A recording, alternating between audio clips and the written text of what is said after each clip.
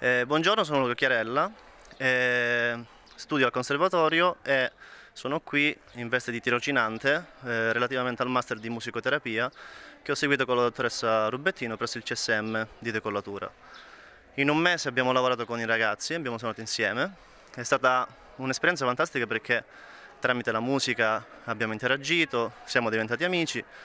è un'esperienza che consiglierei a tutti perché dà la possibilità di approcciarsi eh, in un mondo che molte volte viene visto anche